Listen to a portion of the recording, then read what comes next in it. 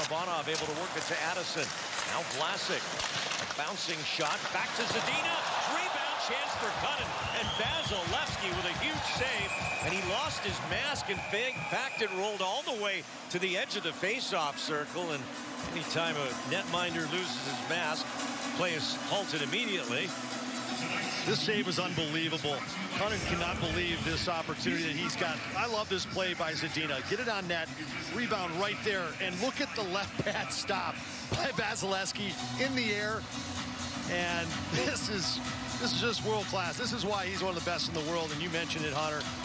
I'd like this guy in my net here coming down the stretch and in a Stanley Cup playoff run. And that was the types of stops. He, kissing his mask? Or no, he's blowing off the condensation on that baby, but wow, what a save.